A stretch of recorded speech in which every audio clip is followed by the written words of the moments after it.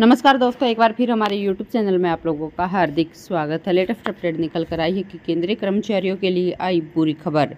नहीं मिलेगा अठारह महीने का डीए एरियर।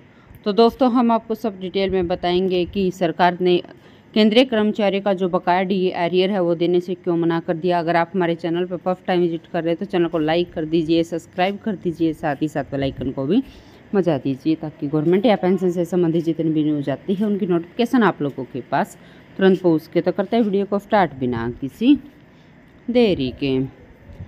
दोस्तों, केंद्र सरकार के कर्मचारियों के लिए बुरी खबर आई है। केंद्र सरकार ने कोविड 19 के दौरान कर्मचारी और पेंशन भोगियों की डीए को 18 महीने से रोक दिया था। दरअसल, केंद्रीय कर्मचारी को 18 महीने के एरियर महँगाई भत्ते का पेमेंट नहीं दिया गया था।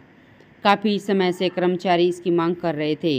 हालाँकि, अब सरकार ने साफ़ कह कह दिया है कि जो 18 महीने का बकाया डी एरियर है, वो कर्मचारी और पेंशन भोगियों को नहीं दिया जाएगा। दोस्तों, केंद्रीय कर्मचारी को 18 महीने के एरियर महँगाई भत्ते का पेमेंट नहीं दिया जाएगा। केंद्र सरकार ने कहा है कि वह केंद्रीय कर्मचारियों को 18 महीने तक महँगाई भत्ता नहीं देगी, जो कोविड 19 के चलते रोका गया था।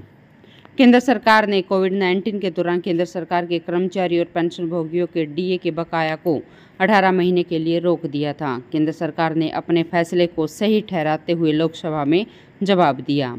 लोकसभा में एक जवाब में केंद्रीय वित्त राज्य मंत्री पंकज चौधरी ने कहा कि केंद्र सरकार के कर्मचारी और पेंशन भोगियों को महँगाई, भत्ता और महँगाई राहत की तीन किस्तें फ्रीज करने का फैसला 1 जनवरी से लिया जाएगा। 1 जनवरी 2020, 1 जुलाई 2020 और 1 जनवरी 2021 को कोविड 19 के कारण डीए नहीं बढ़ाया गया था।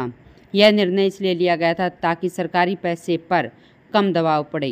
18 महीने तक डीए और डीआर फ्रीज करने से केंद्र सरकार का काफ़ी पैसा बच गया था।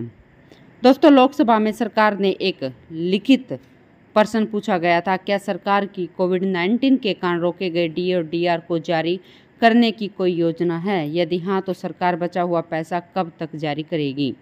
हालाँकि जवाब में कहा गया कि सरकार का 18 महीने के डी एरियर देने का फ़िलहाल कोई भी प्लान नहीं है। तो दोस्तों, आज के लिए इतना ही। मिलते नेक्स्ट वीडियो में। तब तक के लिए जय हिंद, जय भारत।